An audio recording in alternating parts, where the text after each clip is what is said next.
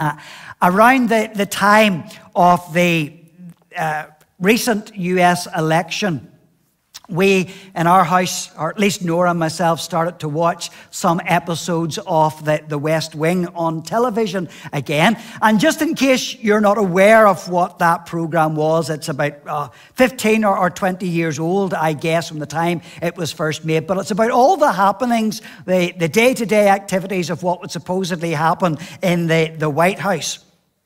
Uh, just last week, I was watching an, an episode where they were needing to appoint a new vice president. Now, because of some political maneuverings of what had been happening, it's fair to say that the best candidates were not in the frame and was not finally chosen. And so the speechwriters were really struggling with appropriate words which might begin to give a sense of excitement to those who were hearing when this announcement was finally being made. But they were struggling.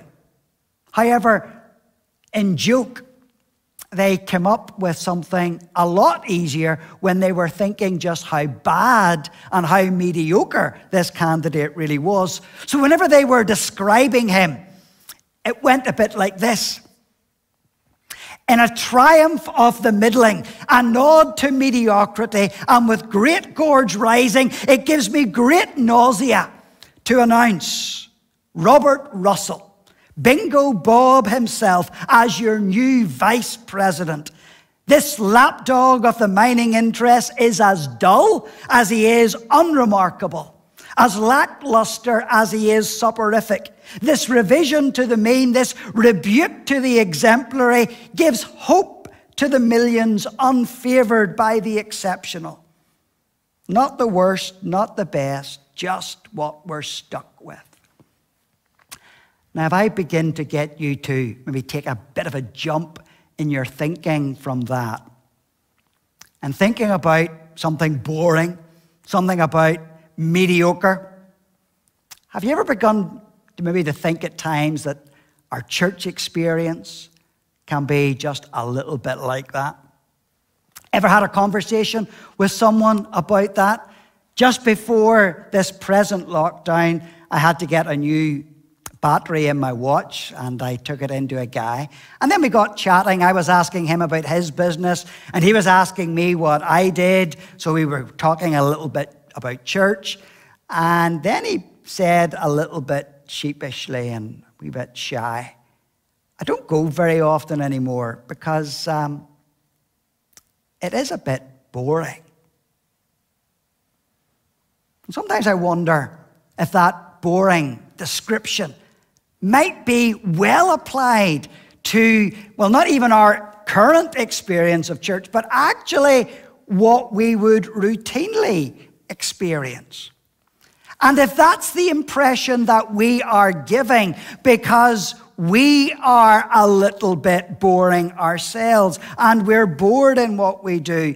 And we have to be honest, I think, at times and confess that this world of ours will never be reached by a people who are described or can be described as boring or mediocre. Mediocrity will never ever reach people's lives in that sense. But it's into that situation that I believe the passage that we've read this morning explodes with a huge amount of spiritual energy. Now, I think it is helpful to understand these verses a little bit if we're able to know a little bit more about the background. Joel was living through a time of uh, upheaval in, in the land. Uh, and even though we know nothing of the, the um, deprivations of wartime, I think what we are experiencing at the minute gives us a little bit of insight into what Joel was experiencing. It allows us to see a little bit more the uncertainty, a little bit more of the confusion that people who were going through what Joel was going through were experiencing. Now, the exact occasion for, for this difficulties in Joel's day was that a huge swarm of locusts had entered into the land and they had devoured all the food. And then immediately that was followed by a period of drought. Now, as Joel reports all of that, and that's what he does in his, in his book here, Joel is doing something very differently from what the likes of the BBC or our journalists are doing at the minute. Because as we think what it is that they are doing is that they are giving us a daily diet of the happenings and the events of each day. And so we're used to these uh, screenshots that come as part of the news, little bits, little statistics. And we can, to some degree, become addicted to seeing these things. We want to see the news. We want to see how it differs today from what was happening yesterday. And then listening to journalists, we know that they have their own sort of spin on that and they're portraying that, even though they're not particularly drawing any attention to that. But they're trying to say something about what's gone wrong and how it should be fixed and what is wrong with with our world. But Joel still does something different than just giving a commentary on the news or the events of his day. And what Joel actually does is that Joel brings God's word to bear upon this situation. And Joel, if you understand what's going on here, is that he's evidently sensitive to what's been happening to the nation of Israel. He's aware of the pain of what they're having to live through. He's aware of the difficulties and, and the deprivations. But he also gives them hope. And he also tells them this swarm of locusts, it's going to disappear. It will go. And even beyond that, he's, he's giving them even greater hope because he's looking forward to a day when God's grace will, will come in an even fuller and a more wonderful demonstration. A day that he describes as the last day or the day of the Lord. But as we think about it, what Joel is doing in this section of the Bible is the way that God's word so often works in our hearts and lives. Because we find, and I'm sure you've found this in your own situation, when you've been going through a time of difficulty and, you, and you're really struggling at the moment, when you are reading God's word, you will find, I trust, that God's word is able to speak to you right where you are. It speaks into your situation and God ministers by His Holy Spirit into your life in those moments but he also is able to make you look ahead, to look ahead to a day of hope, a day that is much better and a day that is much greater, a day that is still yet to come. And that is exactly what Joel is doing in this passage. So perhaps just now I want to look in more detail at these few verses. And maybe my first point, and it's the first, maybe the slide can be shown up, and what the focus that is coming out of verses 28 and verse 29, and it is simply this I will pour out my spirit. That's what God is saying. I mean, let's read verse 28 and 29. I will pour out my spirit on all people.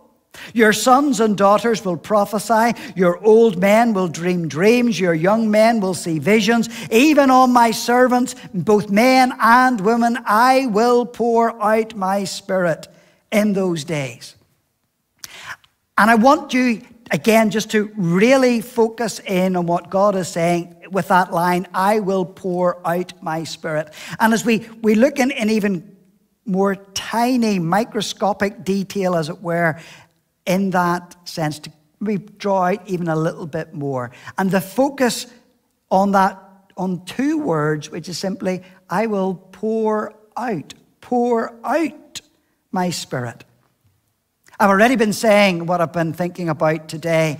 That the main metaphor of what's been going on here is that it, it's this picture of dry, arid land and this pouring out of rain. That's the image. And what it's giving is this sense of wonderful blessing that God is able to, to, to bring. It's just this, this, the size, the scale, it's vast, it's huge, it's extravagant. But what Joel is trying to get at, what God's word is trying to get at, even, even with the, the thought of the experience of all of this, it comes down to this is what it is to know and experience God. To really know God as He pours out His Spirit upon us. And Jeremiah says something very similar to that. The hope that they're all looking forward to, the day when, when we will all fully know and experience God. Jeremiah 31, verse 34, where Jeremiah prophesies, they will no longer teach their neighbor or say to one another, Know the Lord, because they will all know me. From the least of them to the greatest, declares the Lord. For I will forgive their wickedness, and I will remember their sins no more. Now, that's what's coming out from just those couple words, pour out. But as you still just look at that first line in verse 28 about pouring out, what is being poured out? But it is my spirit. And as we think what we might learn from that, it's simply a reminder that this gift, this gift that God is promising to give, His Spirit, is the greatest and is the best possible thing that he can ever give. There is nothing that meets this, there is nothing that matches this. This is my spirit. God's spirit, he's saying.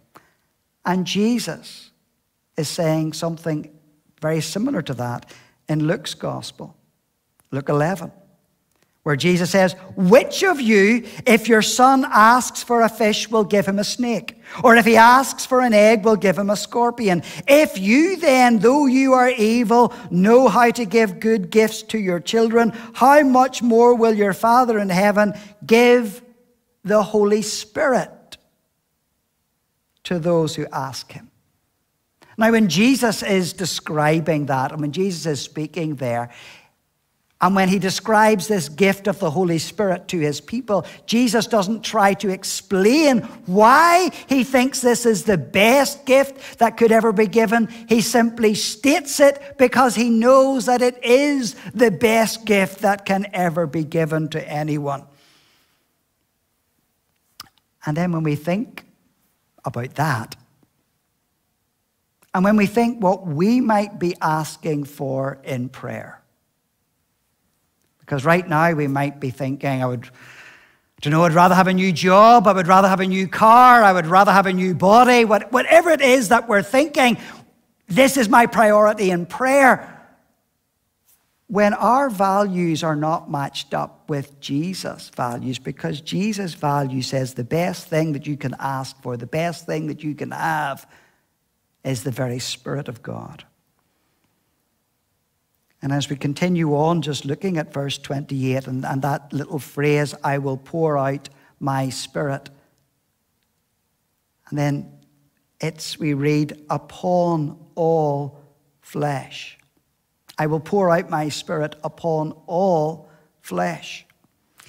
And as we read that little word flesh, it's a reminder of really who we are, that we are flesh and bones. And it's also a reminder that we are weak and that we are frail and that we feel.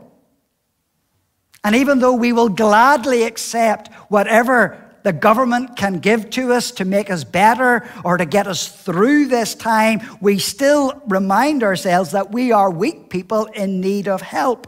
But it is here exactly that the Spirit of God meets us and He offers us true life because we need hope beyond this life. We need hope beyond death itself because this is what we were made for. This is what you were made for because you were made to enjoy eternal life. And this is the very thing that your heart cries out for because you need this salvation that Jesus Christ has made possible for you.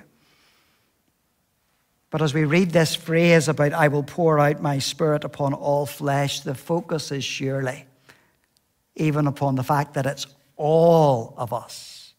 every one of us, all ages, all sexes, all station of life. And that was something that Moses also yearned for. Numbers 11, verse 29. I wish that all the Lord's people were prophets and that the Lord would put his spirit on them. So, this is a, a new spirituality. It's not centered on just a few people, but it's everyone. A place where everyone is empowered to speak the Lord's word and to be able to bring God's word to other people. I will pour out my spirit upon all flesh. Now, this image of reviving power of the Spirit of God, it's welcome, it's encouraging. But not everything in this passage is straightforward or easy.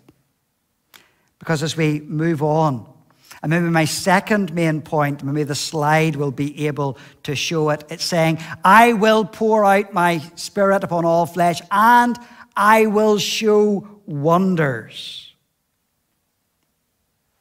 Let's read verse 30 and 31. I will show wonders in the heavens and on the earth blood and fire and billows of smoke. The sun will be turned to darkness and the moon to blood before the coming of the great and dreadful day of the Lord. You know, life is hard at the minute. But we also can't forget that actually we have a lot to be thankful for. We do have so much that makes life relatively comfortable. And because of that, we can get very comfortable in this world in which we live. So even though today we may fully know in our heads that heaven is our final destiny. It's the place where we, where we want to go.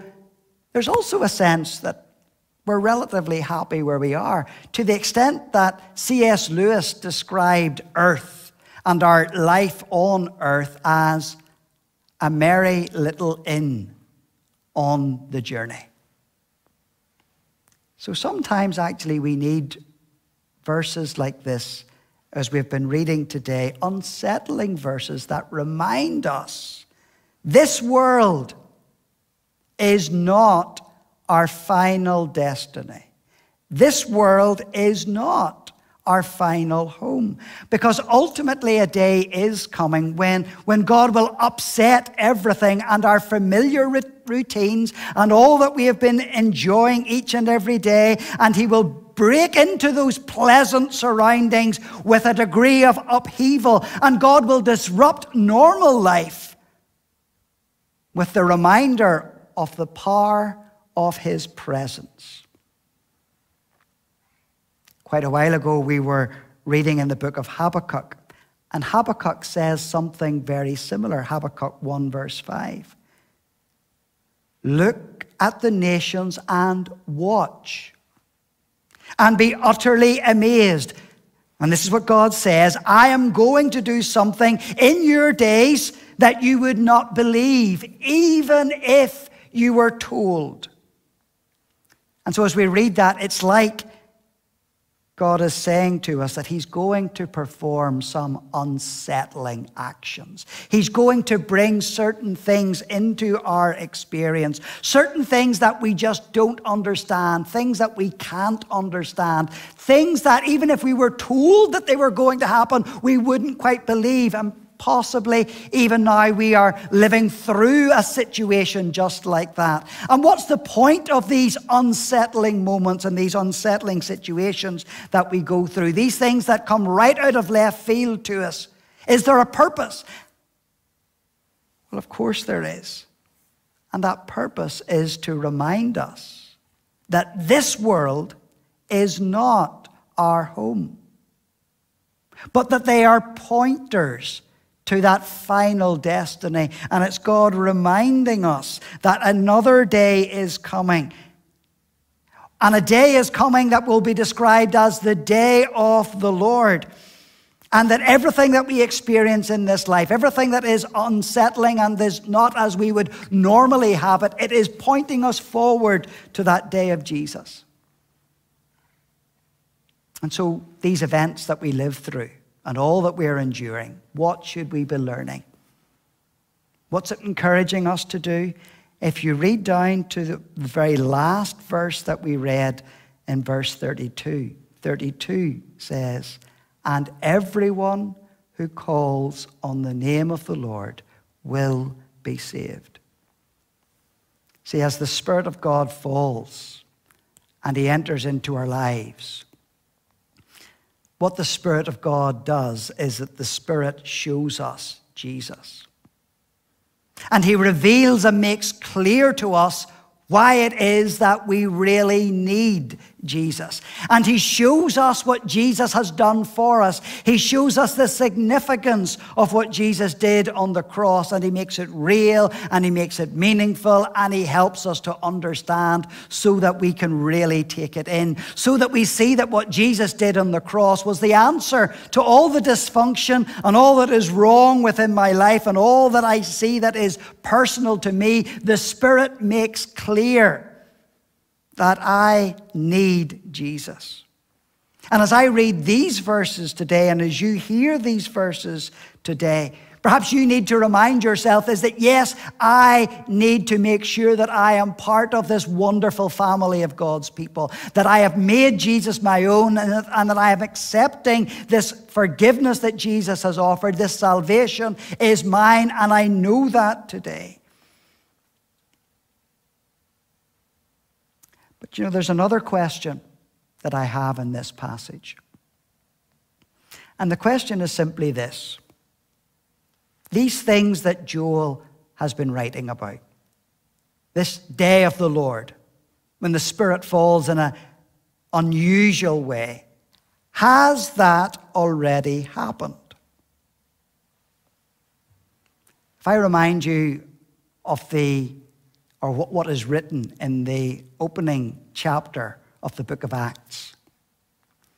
As Jesus was reminding his people that ahead of time that they would have a special gift. And that special gift would be the Holy Spirit, and that the disciples, the ones who were following Jesus, would be what he describes as being baptized with the Holy Spirit.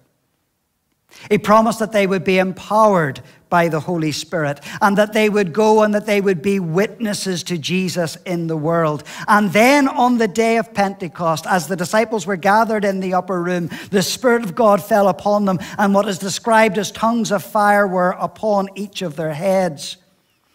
And they were so amazed at what had happened as they left that room and they went out into the crowds who were gathered all around them. They began to speak in all the different languages, languages that they had never known. And people were amazed at what had happened because they heard people speaking in languages that they could hear and that they could understand. And it was such a, a strange event that they assumed that these people must be drunk. And then, Acts chapter 2, Peter gets up to speak. And what Peter says at the beginning, he says, Men and women, these guys are not drunk. It's not even noon. And then Peter goes back to Joel chapter 2, the passage we have read this morning. And what Peter says is this This pouring out of my Spirit upon all flesh. This has been fulfilled today. And you were here, and you saw it, and you witnessed it. And then in the, the rest of the book of Acts, it's described that actually this is just but the beginning because God's people have now been empowered by the Spirit of God to go out into the world to be witnesses for Jesus. And we today are still part of that. We are living in what Peter later describes as living in the last days. And we are waiting for this final return of Jesus Christ. But as Joel begins this passage describing drought. There's also that image of spiritual depression in the midst of it. And as we apply that to ourselves, I wonder at times what's the condition of your own heart? Can your heart be as hard as rock? Are you in need of a special measure of the Spirit of God? This Spirit of God who brings life and energy and color into your life. How can a church ever be described as boring or mediocre when the Spirit of God is truly in the midst of them and empowering God's people to live as servants of Jesus. And it's a travesty that this world of ours might be able to describe the church as boring or mediocre because of how we have lived. When we have been slow to believe in Jesus, when we have been slow to step out in faith and ask God to bless our prayers. So, this world that's all around us should be able to see us praying and praying confidently, believing in God, and not only seeing us praying, but also seeing the answers to our prayers as we pray. Because our dependence upon God will be complete. We will certainly not be relying upon ourselves and our abilities to get us through these things and how we can somehow manage to achieve or do anything. But let us, as a people of God, be surprised by God, continuing to be surprised by what God brings to pass in our midst, recognizing that God just will work as He pleases, and He will work in people's hearts and lives, sometimes in the very last people that we might begin to imagine. So I simply invite you today to try praying, to try praying and seeing what God will do among us. As we quit looking at ourselves or trusting in ourselves or assuming we might have strength to get us through, but that we solely look to Jesus. Let's pray.